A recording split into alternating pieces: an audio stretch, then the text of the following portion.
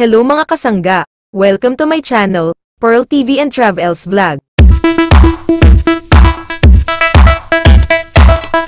Mga kasangga, blessings overload talaga, para sa clean fuel. May new branch na naman sila sa Rosario, Cavite na binuksan ngayon, ang gwapong si Dominic Roque, ay kasama sa cutting ribbon ng new branch na ito, congrats Doms at kay Attorney Bong Suntay, let's watch this guys.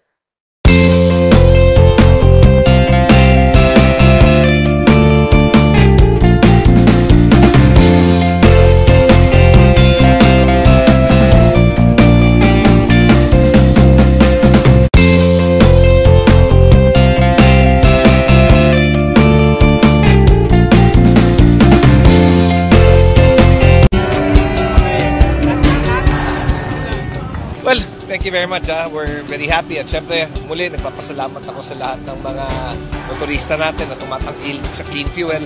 Kagaya ng lagi kong sinasabi, yung success ng clean fuel is powered by our loyal customers and ever-growing uh, clientele. One, two, three, four.